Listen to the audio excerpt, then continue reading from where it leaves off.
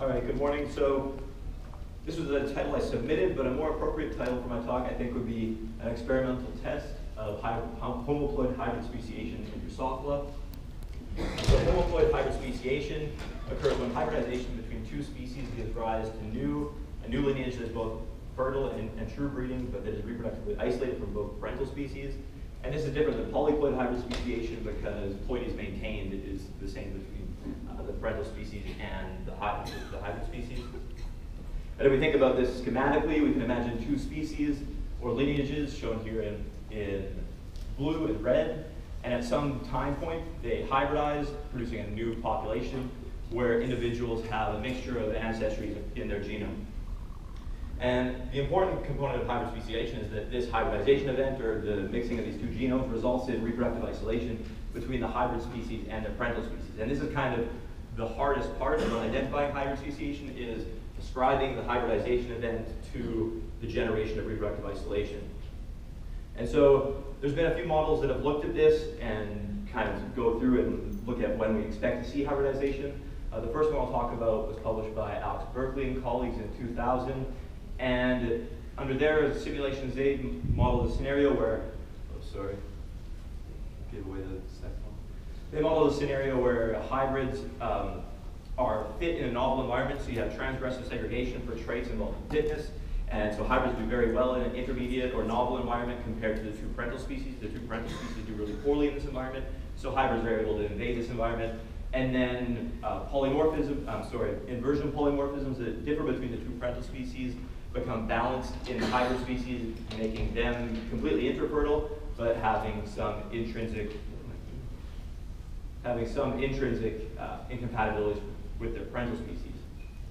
A more recent model, model um, published by a previous presenter, Molly Schumer and colleagues in 2015, um, pro provided a scenario that can occur independent of ecology. It doesn't have to, but it can be independent of ecology, where you have uh, two parental species, their genomes shown here in blue, in blue and yellow, that hybridize and produce uh, hybrid populations. And within the genomes of the parents, they have multiple epistatic pairs of loci. Those pairs become balanced in the hybrid population so that the, this pair of loci here, the yellow loci, now in the hybrids mate with this parental species, they'll be have some incompatibilities, and the same is true at this second locus when they back cross or mate with the first species. So you get reproductive isolation evolving independently of ecology due to genetic interactions. And so our goal is to test some of the predictions of these uh, models using experimental evolution. Specifically, we want to look at do we find evidence that hybrids have higher fitness in a novel environment than their parental species do? Um, can they adapt more rapidly to that environment than parental species? And then secondly, can we see any reproductive isolation or incompatibilities arising between the hybrid populations and their parental populations? And so the basic approach we take, generate hybrid populations, so we kind of force admixture, generate hybrid populations, allow them to evolve alongside their parental species, measure fitness through time, and then also measure um, measures of reproductive isolation. We focused on female mate choice and male sterility when you cross females from the hybrid populations back to uh, the parental species. And so the species we focused on uh, were Drosophila santomea and Drosophila yakuba. Uh, these are sister species. Drosophila santomea is endemic to the island of Sao Tome, and Drosophila yakuba is more widespread in sub-Saharan African Africa. They diverged approximately a million years ago. They have strong behavioral isolation, so females of both species strongly prefer males of their own species over males of the other species. And they produce fully sterile F1 hybrid males in both directions of the cross.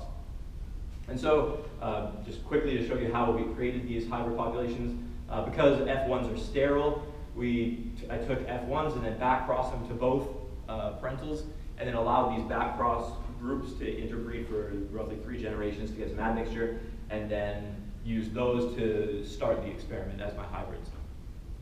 Um, we also confirmed that they were indeed hybrids um, using some low coverage genomic sequencing. And so in total, we created 48 populations. 16 of the populations were hybrids, and then 16 populations of each of the parental species.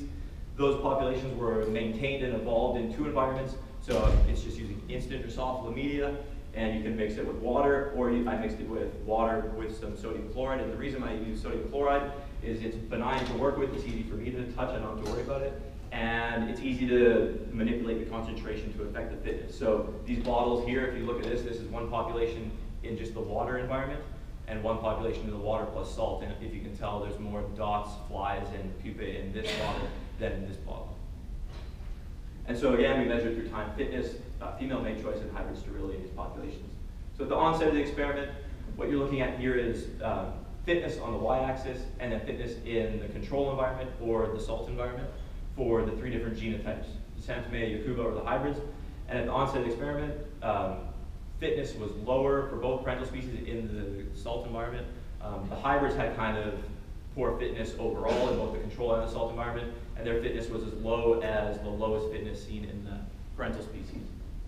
So look at, we look at this changing through time. Um, this is fitness in the salt environment through time for both the treatment population, so the ones that were raised in salt or maintained in salt, and the control populations, controls shown in data's dash lines, and over 15 generations, or 16 generations of evolution.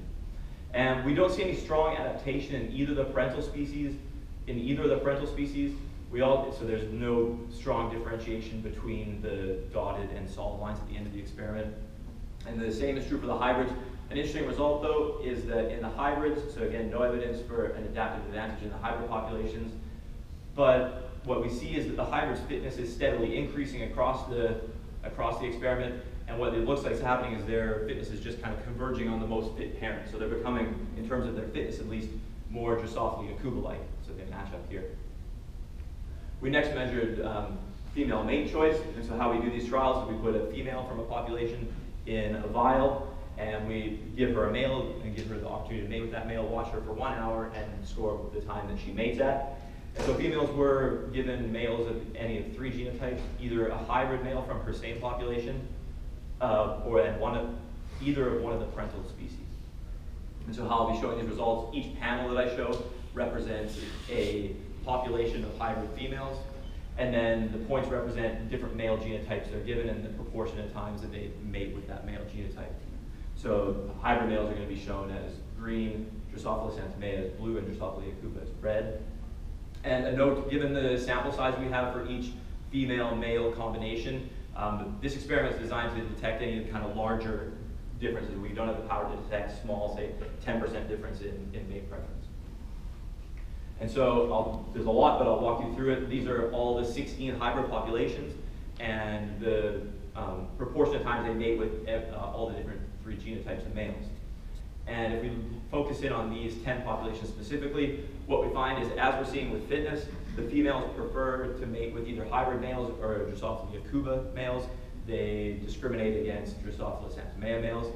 And so in these populations, there's no difference in preference for females whether the, we present her with a hybrid male from her same population or the Drosophila yakuba parental. In these five other five populations, we found we didn't have the power to detect any difference, so females didn't have a strong preference for males of their own population or either of the parental populations. So in 31%, we couldn't detect a difference. However, if maybe if we got lots more numbers, there are, you, you, if you look closely, there are some subtle differences. Perhaps there's something going on here where there's a weak preference for males from your own population, but again, we didn't have the, the power to, to say this is, this is true. So this is just summarizing that. Again, it's kind of consistent with the fitness results we see. The populations, the majority of populations appear to be kind of regressing towards their one parental, the more fit parental species, Drosophila yakuba. So the last thing we looked at was hybrid sterility in these populations. And so when you cross the pure parentals, Santomea and Yakuba, F1 male hybrids are completely sterile. So what we did is we took the hybrid females and we crossed them to either, as with the mate choice, either the hybrid from the same population or one of the parentals. And then we scored F1 males of these crosses and determined whether the males were fertile or sterile. We did this for four of the 16 populations so far. We looked at, at least five pairs um, per female male genotype combination. And then of those individual crosses, we scored at least 16 males per cross with a minimum of five and a maximum of 23. And so for the first three populations shown in these three panels, um, there was no difference in the level of fertility within hybrid males when a female was mated to either uh, the hybrid male or the Drosophila yakuba male. So those are the first two boxes in each panel. Um, but they were also almost completely infertile when mated to Drosophila santomea. In one population, however, we found the same thing with in terms of when mated to Drosophila santomea, the males tended to be infertile. Um, when mated to males from their same population, they tended to be completely fertile. And there was kind of intermediate levels of fertility. So there was a significant difference in the level of fertility when crossed um, to Yakuba and Santomea and the hybrids. And so, going back to the beginning, this could be one potential mechanism explaining this is that in these hybrid populations, they're kind of becoming, their genomes are fixing or becoming fixed at different incompatibility loci, such that they have reproductive isolation from both parentals. Um, interestingly, as fitness is going towards that one Drosophila yakuba parent, they also have higher fertility with that parent. So it's kind of not a 50-50. They don't have even reproductive isolation from both parents, but rather they're slightly more uh, reproductively isolated from the worst parent in terms of fitness. And so the next steps of this project will be to, we're hoping to look into kind of genetically what's going on in these populations, how much of the genome is regressing back to that Drosophila yakuba parent, and whether we can use the segregation of infertility in these populations to look at whether we can localize regions that are responsible for sterility with either the parental species. And with that, I'd like to thank uh, Daniel Matute and members of the Matute lab. And yeah, if you Google hybrid speciation or hybrids, you come up with some kind of some kind of cool cool pictures. So thank you.